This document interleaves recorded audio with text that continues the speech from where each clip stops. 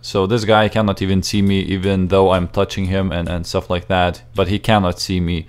Uh, there is a download link in the video description, you can download it and use it uh, by yourself if you have not updated the game, because if you have, it will not work. So look at this. I will shoot and he suspects something, but he doesn't know where I am because I am invisible. So yeah, it's pretty cool because uh, if you want to, you, you know, if it's too hard, if it's, you know, it, it's just fun to mess with. Look, I, I just killed the guy and he doesn't even know that I'm here. yeah, so the download link is in the video description. Download it and enjoy.